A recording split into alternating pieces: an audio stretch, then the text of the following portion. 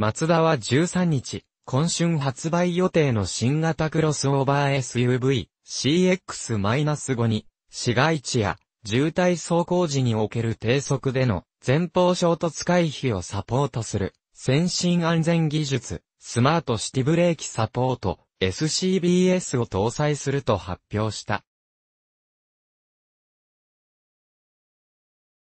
スマートシティブレーキサポート SCBS は自社が約4時速 30km の速度で走行中、フロントウィンドウガラスの上端に搭載されたレーザーセンサーで先行車両や障害物などを検知し、自動的にブレーキを作動させるもの。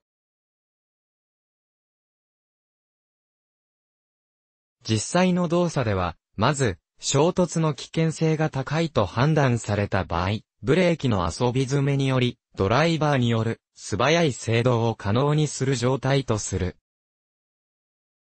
その後、ドライバーがブレーキペダルを踏むなどの回避操作を行わなかった場合には、自動ブレーキを作動させる。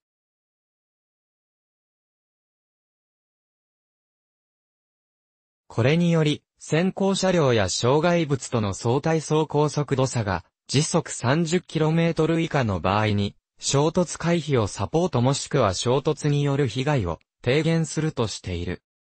また、SCBS には AT5 発進抑制制御が用意され、前方に障害物などが検知された状態で、必要以上にアクセルを踏み込んだ場合、ドライバーに警報音とメーター表示で注意を促すとともに、エンジン出力を抑え、急発進を抑制する。